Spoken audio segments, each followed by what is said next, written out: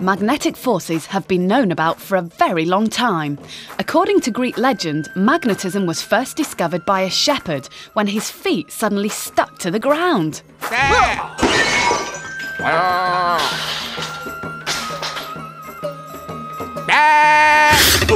The iron nails in his sandals had become attracted to a magnetic rock. This curious stone became known as magnetite, after Magnesia, where it was found.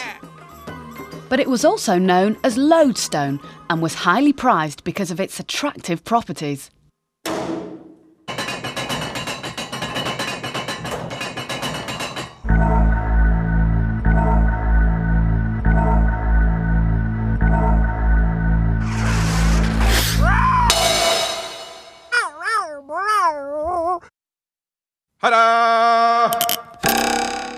In ancient Egypt, magnetic repulsion was used to play tricks.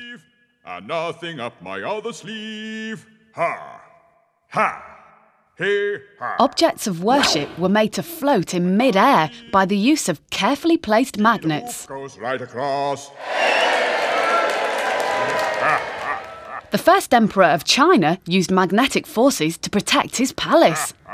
Legend has it that the gates were made from lodestone. Lodestone. Come on! Come on! Na, na, na, na, na, na, na, na, na, na. Outrageous. Is that his bottom? What? he his... Attacking enemies wearing iron armour were completely flummoxed when they were instantly attracted to the gate and got no further.